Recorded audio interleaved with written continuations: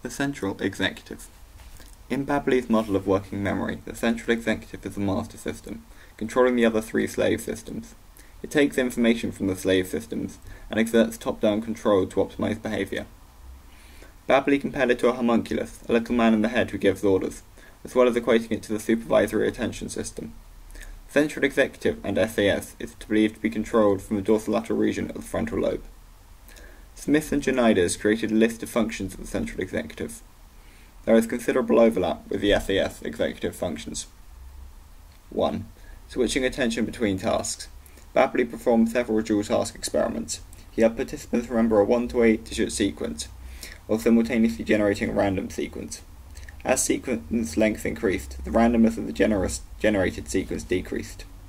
Both tasks and switching between them tax the central executive. 2 planning subtasks to achieve a specific goal. This is seen in the multiple errands test. Patients are asked to buy a series of items in a short time limit, so they must use an optimal strategy.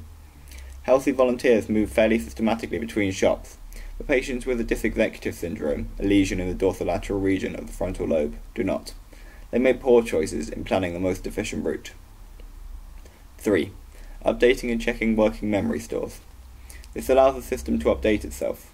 Without it, such issues as perseverance are seen, which is continuation of a useless action when the rules are changed.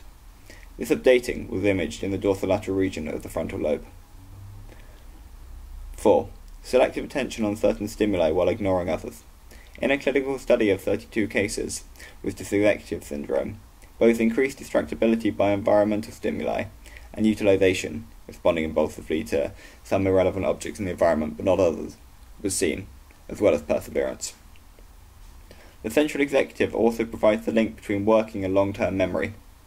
This central executive disorder was seen in a patient KJ, who could recall a story immediately after reading, but had no memory that he had been told a story half an hour later. That's it. Thanks for watching.